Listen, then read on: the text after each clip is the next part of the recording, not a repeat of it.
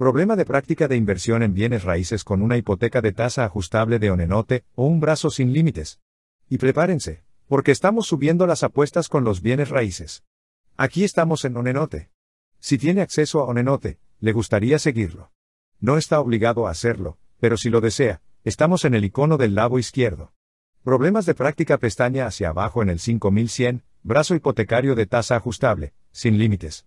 Tab también nota cuando use una nota, eche un vistazo a la herramienta de lectura inmersiva.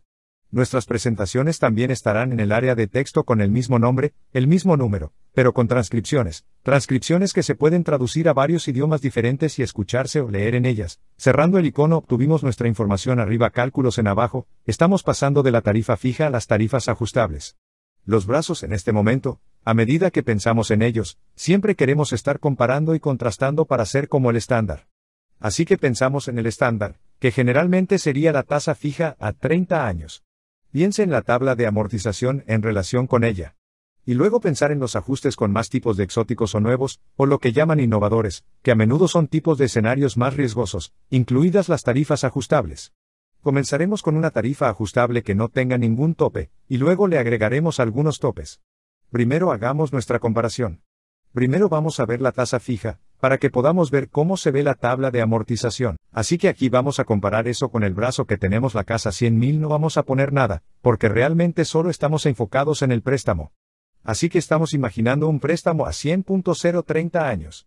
Es decir, 360 meses, 30 veces 12 la tasa. Vamos a empezar con el 10%, recuerden, las tasas pueden ser diferentes dependiendo de dónde se encuentre en economía, en un momento determinado, pero solo vamos a usar el 10% aquí en la tasa. Si tuviéramos que calcular nuestra tabla de amortización, entonces tendríamos el préstamo en la parte superior, los pagos se fijarían en 878, aproximadamente para todo el periodo de tiempo, que calculamos usando la función de pago, que, si sumamos centavos, es 870, 7.57 y luego el interés se calcularía usando esa tasa del 10%, y tendríamos nuestro préstamo totalmente amortizado, que se amortizaría sobre el P a lo largo de la vida. ¿Y ser bonito, fácil o fácil para una tabla de amortización? Sé que no son tan fáciles, pero hemos hecho muchos de ellos, y esta sería la tabla de amortización directa a lo largo de los 30 años, lo que nos llevaría a cero. Finalmente, al final, teniendo la misma cantidad de los pagos a medida que avanzamos, tenemos las diferencias entre el interés y el capital a medida que avanzamos. Ahora vamos a poner el giro en su lugar. Vamos al brazo. Así que tenemos la tarifa ajustable en este momento. Así que vamos a ver primero cuál será esa tasa. Así que tenemos el préstamo a 100.000 todavía a 30 años, 360 periodos. La tasa inicial. Vamos a empezar con el 8%. Recuerden, cuando se observan estas armas, normalmente estarán vinculadas a un índice de algún tipo, siendo el índice una especie de reflejo del mercado en general, que suele ser como una tasa de referencia en la que se puede basar la tasa de blindaje, que normalmente será algún múltiplo o algún aumento del índice. Sin embargo, la primera tasa en los préstamos de tipo brazo a menudo, por supuesto, no estará vinculada al índice. Y en realidad podría ser más baja en algunos casos, porque podrían tener un tipo de tasa de cotización en cotización, que serían las tasas más bajas al principio, que, por supuesto, esperan que aumenten con el tiempo el banco, y luego recuperar su dinero cuando obtengan los intereses por las tasas más altas que se espera que ocurran más adelante en el préstamo.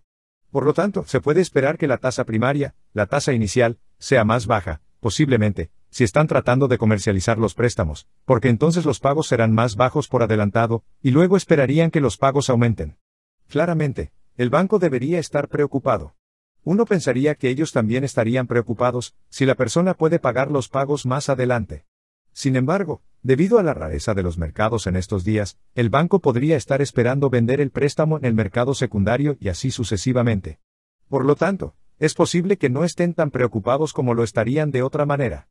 Y por lo tanto, tienes que ser cauteloso con esto y tener esto en cuenta, ver si puedes recoger los préstamos y lidiar con el alcance del préstamo, de los aumentos que podrían ocurrir con el tiempo.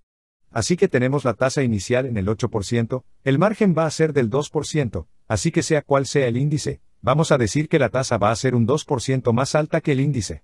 Básicamente, el índice va a medir lo que está sucediendo en el mercado. Estamos basando nuestra tasa en el índice, aumentándola en un 2%, no vamos a aplicar ningún tope de pago ni ningún tope de tasa en este momento. Así que eso va a ser todo. Así que si vamos a nuestra tabla abajo, vamos a tener nuestras columnas el año, el índice, la tasa, el pago. La espalda. Equilibrar. Y luego también nos gustaría echar un vistazo al flujo de caja. También haremos un pequeño gráfico sobre esto, y luego haremos nuestras tablas de amortización eventualmente basadas en él, para que podamos, podamos agrupar todo cuando tengamos estos tipos de préstamos más complejos en una tabla, e intentar calcular la tasa y el saldo a medida que avanzamos. Sin embargo, siempre es útil compararlo con una tabla de amortización. Recomiendo encarecidamente trabajar el problema de esta manera en Excel, lo que hacemos ahora el índice. Vamos a decir, estos son los números índice. ¿De dónde sacamos estos números? En la práctica, tendrías que obtener estos números del índice cuando estamos comenzando el préstamo. Si empezamos el préstamo desde cero, no sabemos qué va a pasar en el futuro, porque lo único que podemos hacer es proyectar lo que va a pasar en el futuro.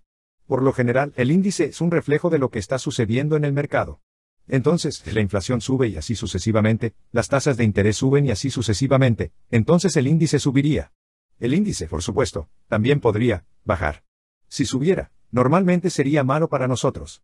Si bajara, normalmente sería bueno para nosotros. Por lo tanto, es posible que queramos ejecutar diferentes escenarios.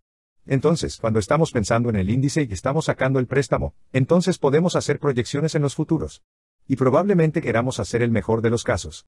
En el peor de los casos. Podríamos tratar de hacer múltiples escenarios diferentes, y ver si podemos hacer algún tipo de análisis porcentual para pensar, ya sabes, cuál sería el escenario promedio para mitigar nuestro riesgo, para pensar en cuál será el riesgo. Y, obviamente, cuando se tiene una hipoteca de tasa ajustable, la mayor parte del riesgo de la fluctuación de la tasa recae en el prestatario. Y luego, si aumentara los límites en términos de un límite de tasa o un límite de pago, entonces también está mitigando parte de ese riesgo para el prestatario. Así que podemos pensar en estas dos formas.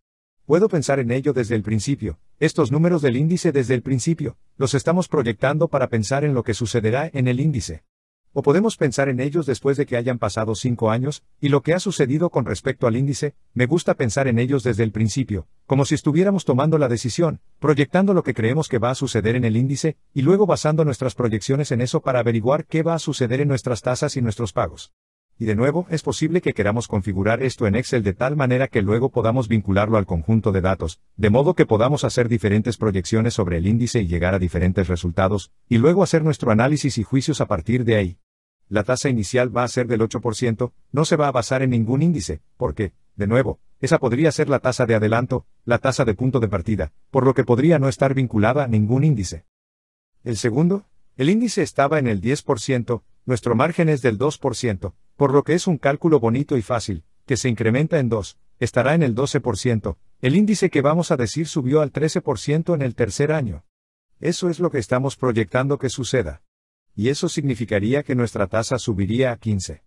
Y luego vamos a decir que el índice proyecta subir a 15, lo que sería nuestra tasa subiría a 17, y luego proyectamos que vuelve a bajar al 10%, lo que significa que más 2 nos llevaría al 12%, así que si fuéramos a trazar el índice, que, de nuevo, realmente no sabemos si vamos a, vamos a tener que, va a medir el mercado y nuestra tasa, se vería algo así en un gráfico correcto. Tenemos el índice haciendo lo que sea que haga el índice, y vamos a estar básicamente en paralelo a él, con un margen del 2% por encima de él, así que el índice podría hacer cualquier cosa. Recuerde, el índice podría bajar. Podría ser algo beneficioso. Podría ser algo no beneficioso. Nuestro objetivo es básicamente mitigar el riesgo, calcular lo que creemos que será el riesgo, y luego tomar medidas y hacer que nuestro proceso de toma de decisiones se base en él. Así que podemos hacer nuestros cálculos de pago una vez que tengamos el índice, y nos centraremos más en ellos más abajo. Pero tenga en cuenta que puede hacer los cálculos de pago utilizando una función de pago, y le echaremos un vistazo en breve, en función de la tasa y el saldo anterior, que voy a poner aquí, el saldo del préstamo será de 100.000 cuando hagamos esto en Excel. Si hacemos esto correctamente, podemos copiar el cálculo del pago. Pero tenga en cuenta que los pagos serán escalonados o dependientes del saldo anterior, por lo que una vez que lo copiemos, no se completará correctamente hasta que calculemos el saldo en todos y cada uno de los pasos. Y hay dos formas de calcular el saldo. Por ejemplo, una es que una vez que tenga este pago para el primer año, y vamos a seguir actualizando o revisando en forma de esta hipoteca de tasa ajustable, la tasa cambia anualmente. Así es como decimos que está configurado. Podría configurarse de otra manera, ¿verdad?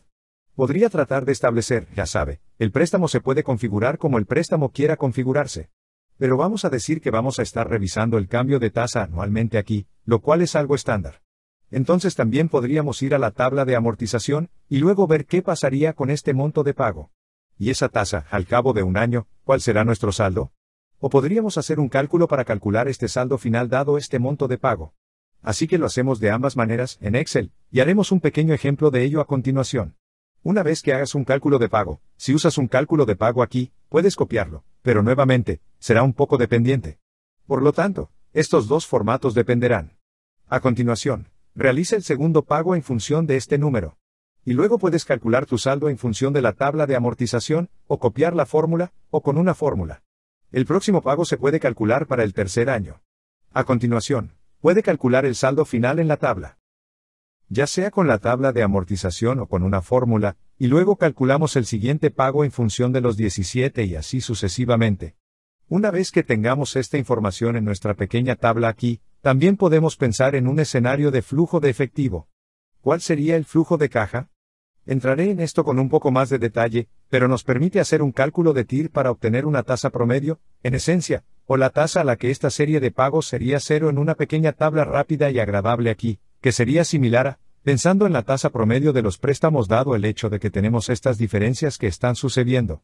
Bien, tenemos este pequeño gráfico que nos da esa idea. Pensemos en esto con un poco más de profundidad. Ahora centrémonos solo en el monto del pago. Entonces, si tengo el índice y calculamos la tasa en función del índice, entonces podemos revisar y hacer nuestros cálculos de pago en función de eso. La primera es bastante sencilla. Solo diríamos que hemos visto esto en el pasado con las hipotecas fijas, aunque vamos a hacer un pequeño giro en el área de números, por lo que diría que PMT negativo para calcular el pago. ¿Cuál sería el pago? Sería la tasa. La tasa sería esta. 8% vamos a dividir eso por 12, porque queremos la tasa mensual, y esa sería una tasa anual. Y luego vamos a decir coma el número de puntos. Vamos a calcular un poco diferente. Vamos a poner paréntesis y lo voy a tomar en años primero.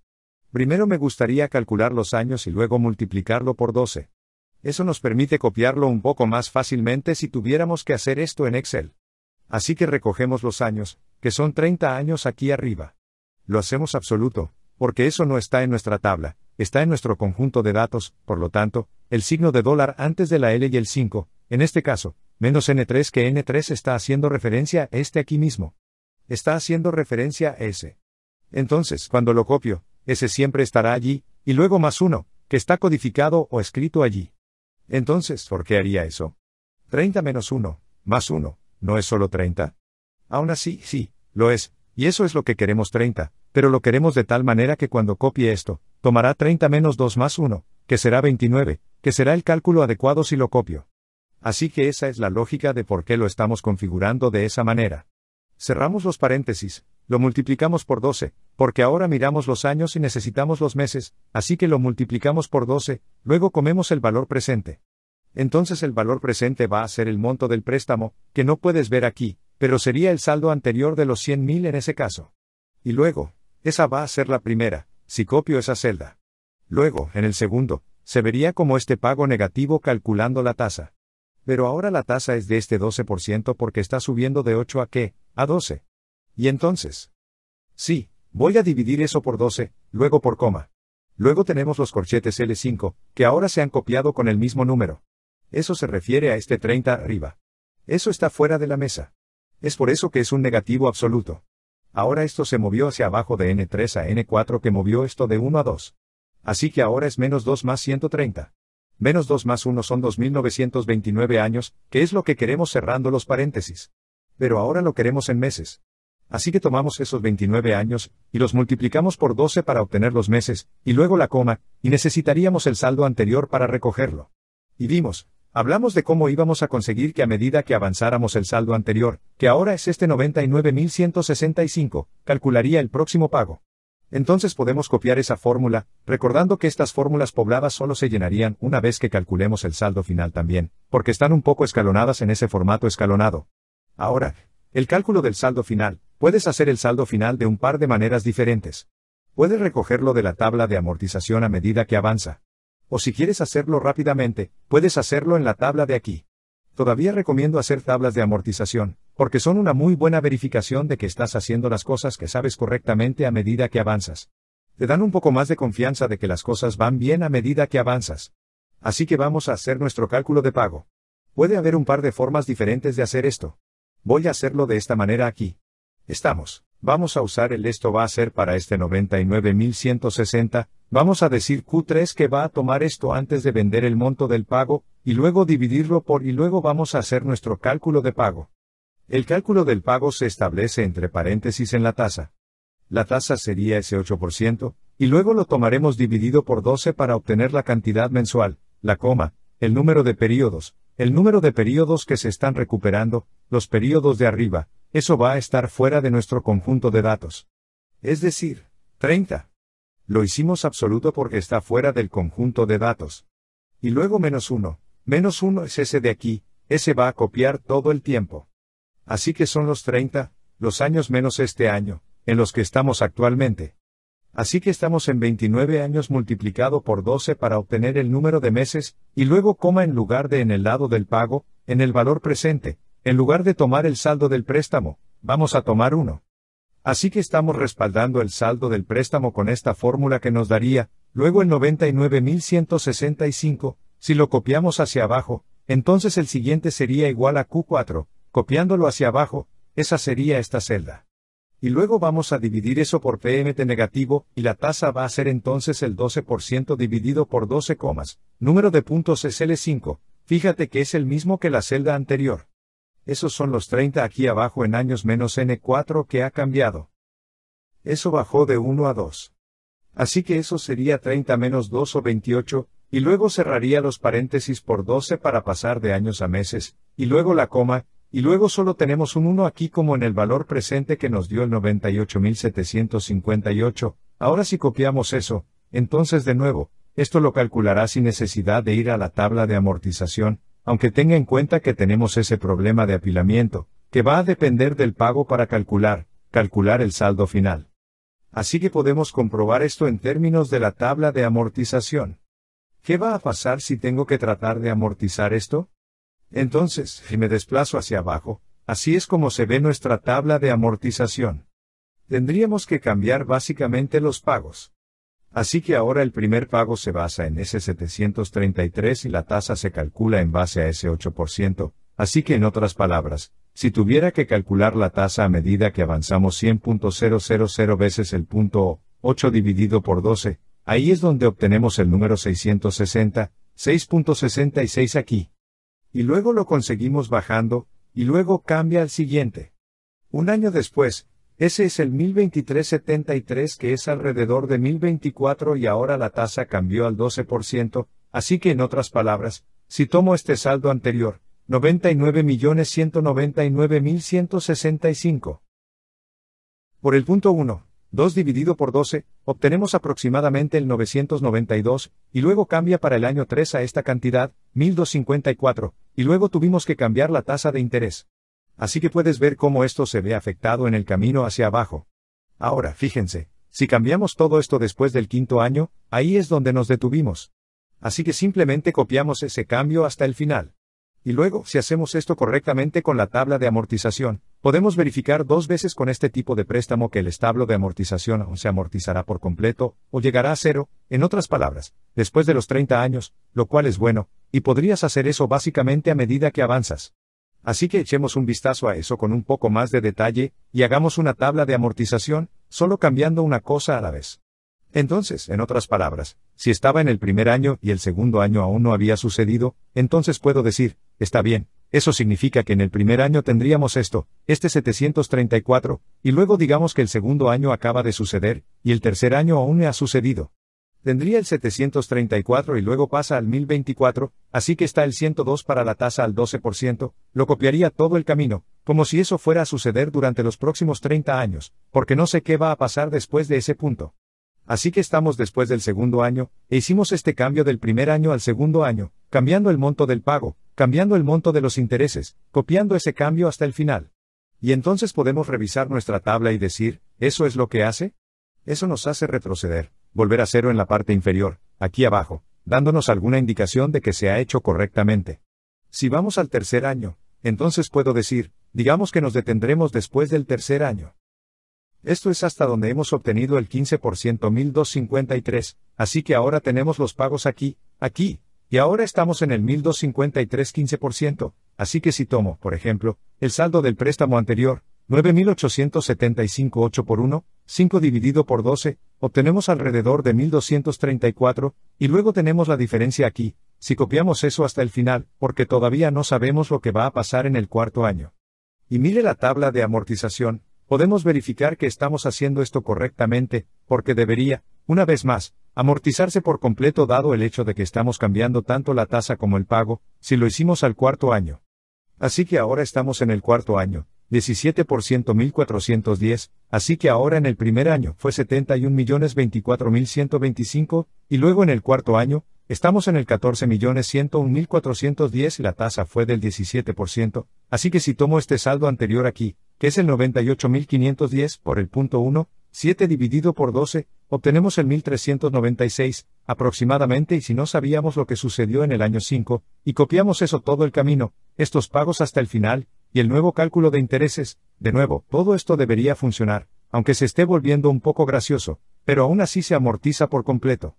Así que eso es algo bueno. Y luego, en el quinto año, vamos a decir que vuelve a bajar al 12% y el pago a 1029, y eso es todo lo que sabemos en este momento, a pesar de que es un préstamo a 30 años. Así que vamos a decir, muy bien, vayamos al quinto año. Ahora estamos en el 1029 bajamos al 12%, así que en otras palabras, si tomo este 98.318 por el punto 1, 2 dividido por 12, obtenemos el interés del 983 y una vez más, si copio eso hasta el final, porque solo estamos a medio 5 años, debería estar completamente amortizado en este punto. Así que no sabemos lo que va a pasar de un año a otro, pero al menos podemos conectarnos a la tabla de amortización a medida que avanzamos, y darnos alguna verificación de que estamos haciendo las cosas correctamente, dado el hecho de que la tabla de amortización se amortiza por completo al final del proceso. Ahora, si volvemos a nuestro conjunto de datos aquí. Así que tenemos este pequeño conjunto de datos que nos da los pagos y el saldo. El equilibrio aquí. Tenga en cuenta que podemos verificar el saldo a medida que avanzamos. Así que podemos, podemos mirar ese 99.165, el 98.758, el 98.510, así que vamos a comprobarlo muy rápido. De la otra manera, podemos mirar estos saldos finales, podemos elegir el 99.616, después del año 198, 758, después del año 298, 510, después del año 398, 318, después del año 4, y 97.732, después del año 5. Así que podemos, podríamos haber sacado esos saldos finales de la tabla de amortización, o calcularlos con una fórmula, y luego verificarlos dos veces en la tabla de amortización, y luego podemos obtener un tipo de flujo de caja rápido y agradable con este pequeño método de cálculo que hemos usado aquí diciendo que comenzamos con los 100.000 que representan el dinero que podemos imaginar que obtuvimos del prestamista, y luego tomamos ese dinero y se lo pagamos al vendedor para comprar la casa. Y luego podemos imaginar las salidas, que serían simplemente los pagos, y habría 12 de ellos por año.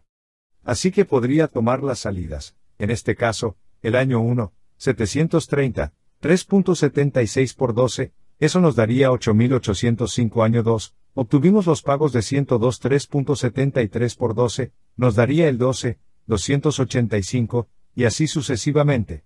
Y luego podemos ver la tasa interna de retorno, la tasa a la que esta serie de pagos sería cero. Y eso nos debería dar una idea teniendo en cuenta en el tiempo el dinero, el costo del préstamo, en base a si estuviéramos usando una proyección, por ejemplo, esta estimación de lo que va a pasar con el índice, y lo que va a pasar con la tasa.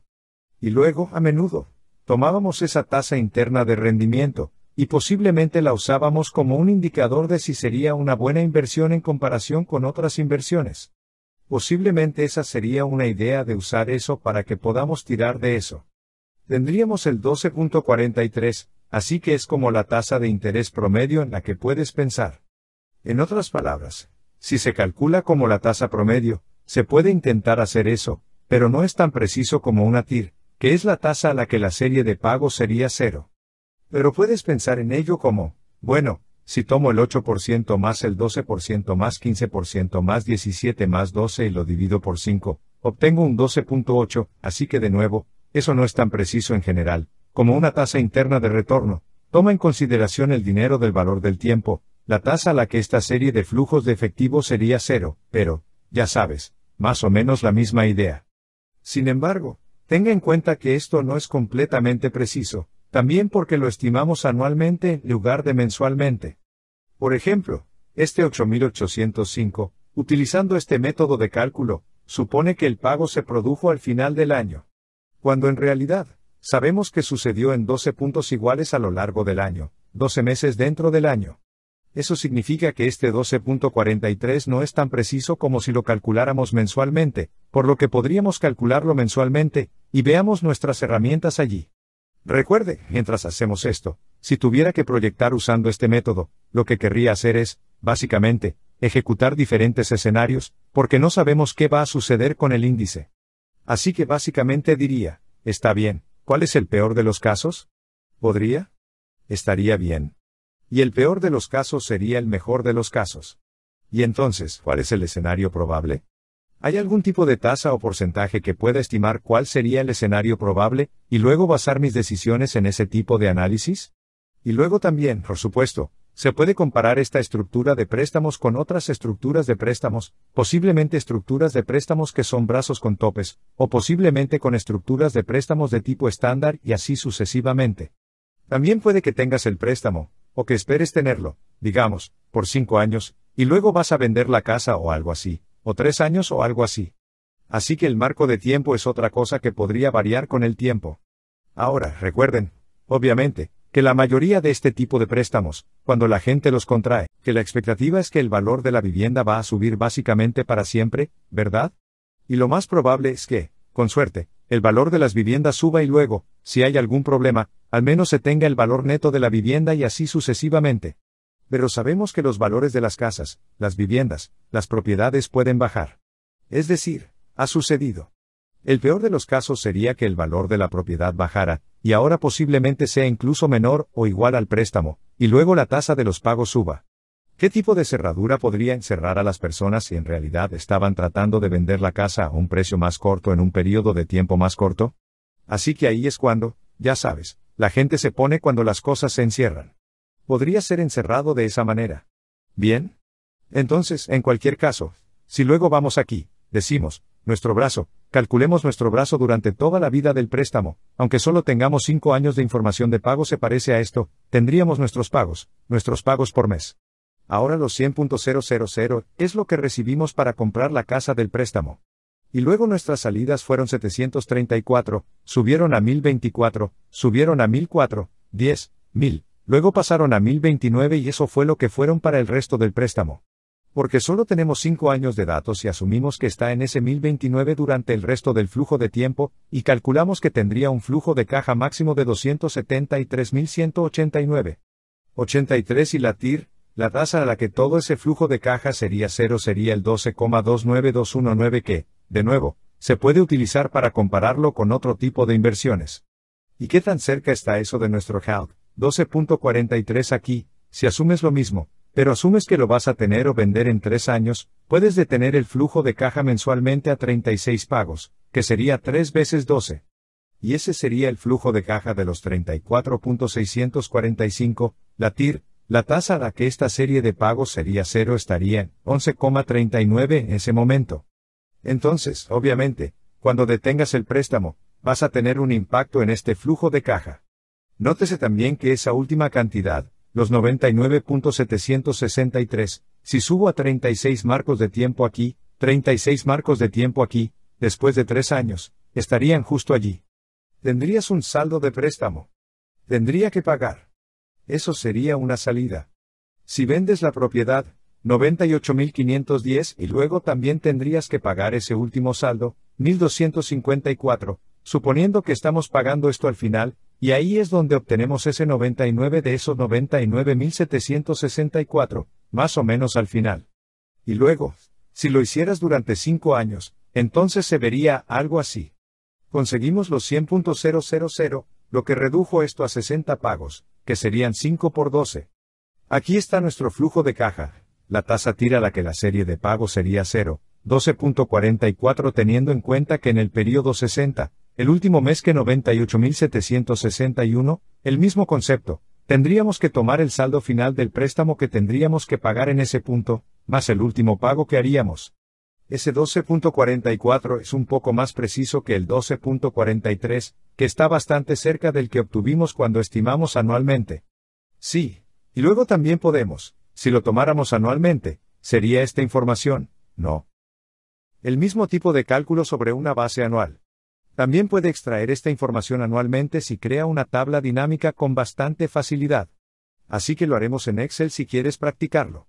Lo hemos visto en presentaciones anteriores. Así que no voy a entrar en detalles aquí, pero si estás comparando diferentes escenarios como este, la pequeña tabla que hicimos arriba nos da mucha buena información año tras año, pero no nos va que podríamos agregarla en la tabla dinámica, digamos, por ejemplo, el interés por año. Y si sumas los intereses por año, eso podría ayudarte con los cálculos de impuestos, y la deducibilidad de los posibles intereses también. Entonces, agregar la tabla dinámica se vería así, sumando los años y luego los pagos, solo los intereses, y luego obtuvimos este desglose año por año, similar a la tabla que construimos. Todavía tenemos los pagos, tenemos los intereses, que es algo que no estaba sobre la mesa y que pusimos antes. Así que, de nuevo, podría ser una buena herramienta para utilizar la tabla dinámica para poder actualizarla con diferentes escenarios, así como posiblemente tenerla en cuenta las implicaciones fiscales, etc. Así que,